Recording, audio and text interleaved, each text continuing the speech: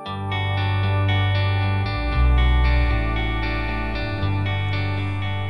วัสดีครับ ผมทอมเทสผู้ว่าคนใหม่ของเมืองโกโคสสวรรค์แห่งการท่องเที่ยวของออสเตรเลียโกโคสคือเมืองท่องเที่ยวที่ขึ้นชื่อ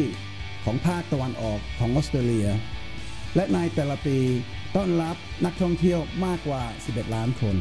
ที่นี่มีทั้งชายหาดที่สวยงาม ป่าดงดิบซึ่งเป็นมรดกโลก สวนสนุกระดับโลก แหล่งช้อปปิ้ง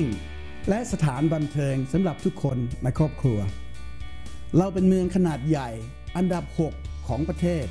และเป็นเมืองที่กำลังโตเร็วที่สุดในออสเตรเลีย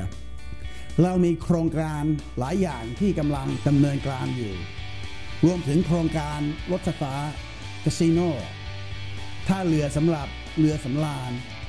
และแหล่งรวมวัฒนธรรมของชาวเอเชีย มีเที่ยวบินบินตรงจากหลายประเทศ ทั้งในทวีปเอเชีย และแถบแปซิฟิก นอกจากจะเป็นเมืองที่เหมาะกับการท่องเที่ยว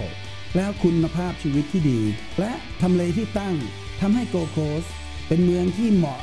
แก่การพักอาศัย และลงทุนอีกด้วย สภาแห่งโกโคสมอบการบริการหลายรูปแบบ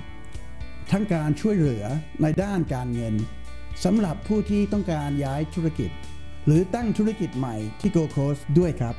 โกโคสพร้อมช่วยเหลือท่านในการนำธุรกิจเข้าสู่มิติใหม่ครับ ผมหวังว่าจะได้เจอกันที่นี่นะครับ ผมทอมเทสสวัสดีครับ